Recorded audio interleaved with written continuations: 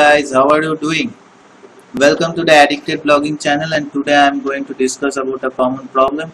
After adding the Facebook plugin codes to your websites widget area or any other place you want the social plugin or buttons Facebook buttons to appear they don't actually appear in your website.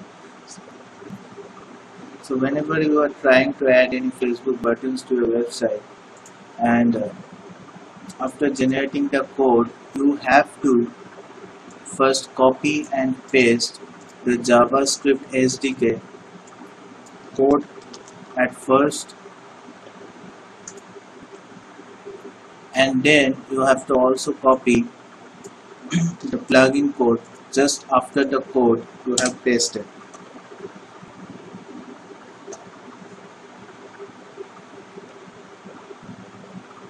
a lot of people does not copy both the codes. They only copy the plugin code and paste it to their website and after pasting they don't work.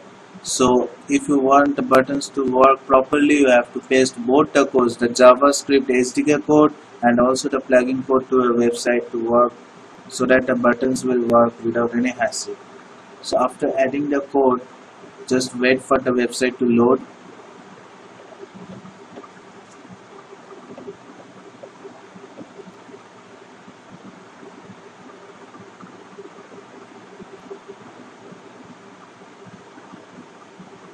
and yes the Facebook buttons have appeared on your website and they are working fine. So please always remember to add both the codes the JavaScript SDK and the plugin code to your website plugin to make the Facebook buttons work properly. Guys if you like this video don't forget to subscribe to our channel and give the video a thumbs up also put a description link to our website which is addictedblogging.com where you can get all the latest news and updates of WordPress, SEO, blogging and more and you can browse all of them completely free.